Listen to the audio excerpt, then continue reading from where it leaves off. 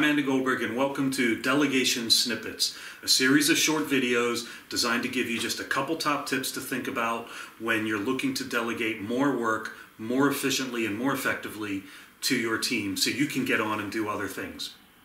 And this is a short one today because there's a lot that we can delegate to our team, and some of those tasks, some of those functions are important complicated. There's a risk that if it goes wrong, it could have serious implications to the business. And then there are some functions and tasks that we can delegate to our team which aren't that big a deal. They might be easier to perform, they're lower risk, nothing's gonna, nothing bad is going to happen if we don't get it right the first time. And we sometimes worry about what's going to happen if we do delegate to our team and they get it wrong. So there's really two levels of control that we need to consider keeping when we delegate. Because when you delegate, you're giving up control, right? But if it's important, we don't want to give up too much control. So control level one basically looks like this.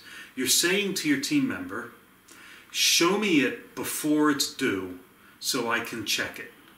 In other words, I want to see your progress along the way so we can correct if you're going the wrong direction. We want to make sure that you're doing it right and that you're uh, working to the timescales that we need. So I want you to keep me updated. I want you to show me progress.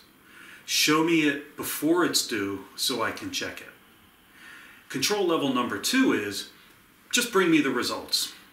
Come to me when it's done and show me what you've done. And that's the level of control that you would offer if you were confident that the team member was going to do it well, or if it was a low risk function. In other words, if it did go wrong, nothing bad is going to happen. We'll just learn from our mistakes and move on.